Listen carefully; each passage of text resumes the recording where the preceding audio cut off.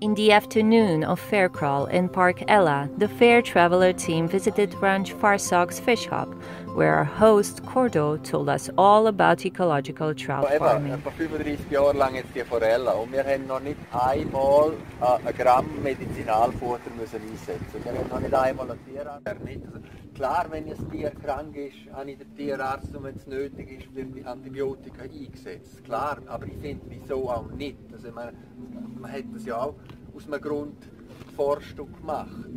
Aber ich bin dagegen, dass man es einfach, sagt man? Prophylaxe. Ja, ganz Ja, ja, ja. Das ist ein Seich, nicht? Ja, Das, das ist, man darf das ja gerne studieren. Nicht? Das Prophylaktische einfach schaffen das meiste mit der Homöopathie, habe zwei, drei Kurse gemacht, habe kriege eigentlich das größte her. Also ja, wenn es nicht geht, eben, ich sage, man darf dann auch nicht zu lange warten, dann ist der Tierarzt auch da und schaut auch. Machen jetzt auch seit einem Dreivierteljahr arbeiten wir mit EM, ich weiß nicht, ob ihr das kennen. Das sind EM? effektive Mikroorganismen. Mm. Probiotik. Ah, ursprünglich von Japan hat das eigentlich ein Arzt einmal herausgefunden, per Zufall. Das ist so aufgebaut auf Photovoltaik, also auf, auf drei Bakterien, Hefebakterien, Photovoltaik und, und äh,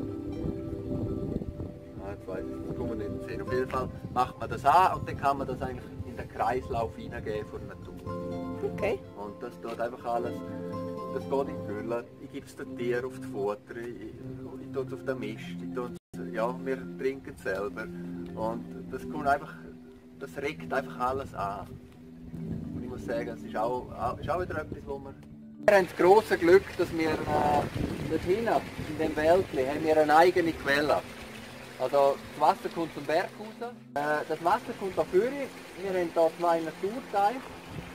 Die sind wirklich ausschließlich Natur, haben auch keine Folie und überhaupt nichts drin. Und dann haben wir halt noch da die vier Becken, wo wir die Fische ein bisschen nach Größe sortiert haben, dass wenn jetzt eine Bestellung kommt, heute morgen, dass wir nicht mehr so, so, so lang zusammen sind. Also rein von Handhabung her. Tust du das sortieren? Ja, das machst du halt eigentlich immer wieder, wenn du, wenn ich jetzt komme und rausnehme da, dann tue ich die kleineren halt wieder ein bisschen zurück. So, aber nicht, dass man permanent am Fisch um, um Sägen ist mit dem Fisch. Äh, Fische sind nicht bio. Die, äh,